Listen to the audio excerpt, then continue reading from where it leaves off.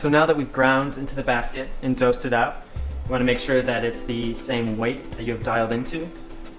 One way you can do this is by having a scale, and then you tare out, which is just to get a zero on the scale with the portafilter itself, or you can remove the basket and have it on there. So for this purpose, I'm doing 18 grams of coffee. So I would have had the basket on there, done the grinding and dosing that I just showed you, and then put it back on the scale to make sure it's at the weight that we want. So if you've measured the correct amount of coffee, the final step is tamping. This is a lot simpler than some people make it out to be, in that you just want to be even and consistent every time that you're doing it. So I just like to do one tamp that way, and then a slightly harder tamp that way, and then a small polish at the end. You really don't need to get too fancy with it. Again, it's just you have to do the same thing every time to get the same result.